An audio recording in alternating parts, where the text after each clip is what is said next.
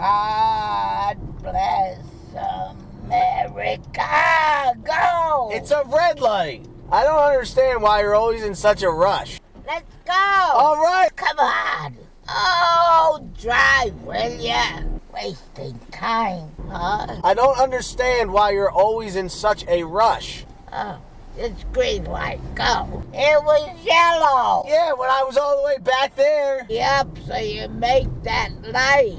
What's the rush, Mommom? It's an arrow. Oh, you messy. Now you gotta wait. You should have gone. It was yellow. I don't know what you're saying. I don't understand why you're always in such a rush. Like you want to get in front of people. Go through that and get in front of the truck. What's the rush, Mommom? It says you can turn. Mommom, there's cars going. If I oh, turn. I didn't see it. Come on, change. Change. Change. See? I got the magic fingers.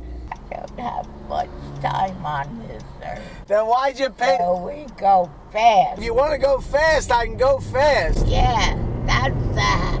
Stop it! If you don't have much time, why'd you pay with coins? It took about 15 minutes. That's do what I want to do.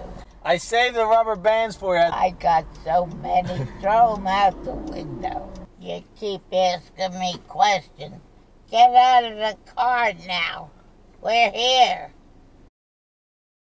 Of course it would start raining right when I'm about to record. Hope you can hear me okay. For those of you who don't know, that old lady was not a random Uber client. That was my wonderful mama, aka Granny on the Gram. Even though she is way cooler than I am and much more popular, I am slowly phasing out the granny content from this channel. So if you did enjoy this video, don't just give it a thumbs up, but make sure you follow Mondays with Mommom, my channel I just started, devoted exclusively to that lady who moves so slow, but yet is always in a rush. I will never understand